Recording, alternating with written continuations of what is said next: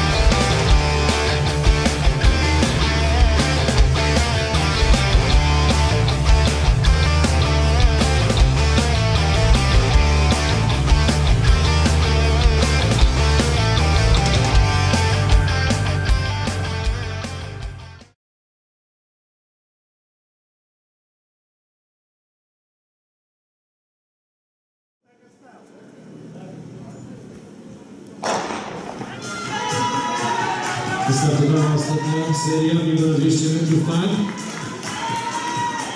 A jakiś problem Karoliny Tymińskiej, która na niecałych 100 metrach zrezygnowała z naszego biegu.